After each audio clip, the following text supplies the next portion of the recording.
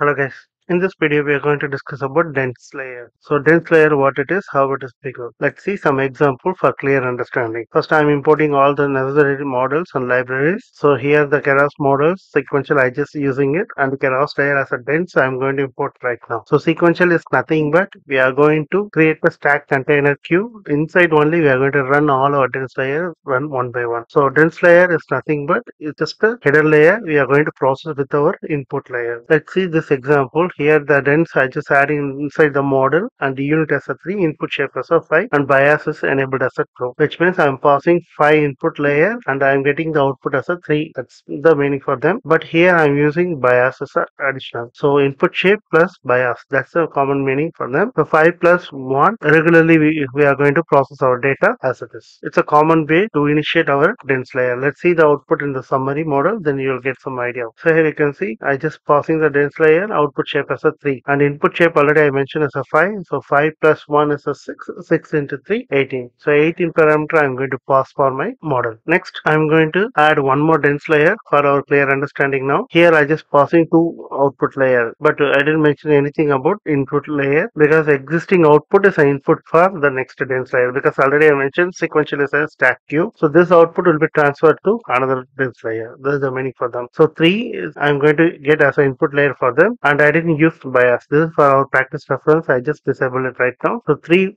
directly I'm going to get it. 3 into 2, 6. That's a common parameter I'm going to use for this iterations. Now see the example output. You'll get some more details. So I can see 2 and 3. So 3 input layer and 2 output layer I'm getting it. So total 6 parameters. First one is 18 parameter. Second one is 16 parameter. Now I'm going to add one more dense layer for clear understanding purpose. Here I'm going to add one more dense layer and I just mentioning only one output shape as a one. But I just enable the bias again, which means whatever the input I'm going to get it, it's going to be add with bias and then it's just going to be make the header layer references. So 2 as an input, 2 plus 1, 3, 3 into 1 as it is 3 parameter I'm going to get for them. So see the output as I expected 1 into 3. So first one 18, second I'm getting as a 6 and third one I'm getting as a 3. So total 27 parameter iteration is going to be happened with our dense layer process in this model. You can see the output here. There's a clear representation in the chart model. The same you can compare it. At the beginning I just mentioning input layer as a 5. Whatever I'm passing it